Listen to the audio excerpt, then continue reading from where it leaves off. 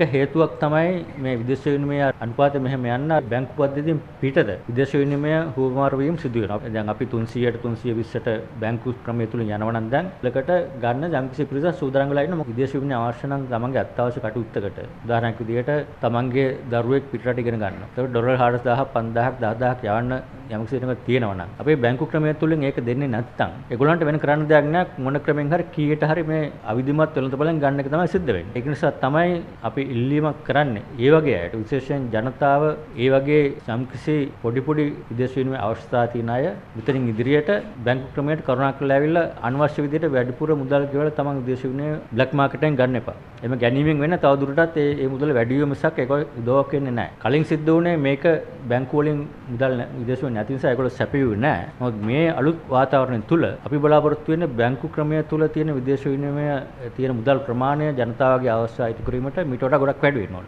අදම අපි උදේ නිවේදනය කරා මීට ඉස්සෙල්ලා තිබුණ විදේශ අපනයනකරුවන්ගේ සහ විදේශ ශ්‍රමිකයන්ගේ ලැබෙන මුදල් වලින් රුපියල් වලට ගුණාම ඒක 150ක් මහ බැංකුවට විකුණන්න කියලා තිබුණා. අපි ඒක අද ඉඳලා 125 දක්වා අඩු කරනවා. ඒ මුදල් 125ක් දැන් බැංකුව වලට තියෙනවා අමතරව ඒ මුදල් කරුණාකරලා පාවිච්චි කරන එකක් අත්‍යවශ්‍ය දේවල් වලට ඉගෙන ගන්න ළමයින්ගේ මුදල් වලට සහ අත්‍යවශ්‍ය දේවල් වලට ඒව පොඩි මුදල් විශාල ප්‍රමාණයක් දුන්නාම අර බ්ලැක් මාකට් එක නැති වෙනවා. ඒතකොට ඒක කරුණාකරලා කරන්න කියලා මම විශේෂයෙන් අපේ බැංකුව වලින් ඉල්ලා සිටිනවා මේ අලුත් වාතාවරණ තුල.